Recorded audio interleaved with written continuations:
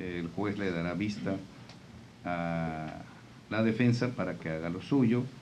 Igualmente serán conclusiones eh, y sigue seguidamente viene una audiencia de vista y posteriormente el fallo del tribunal. ¿Confían en una sentencia condenatoria?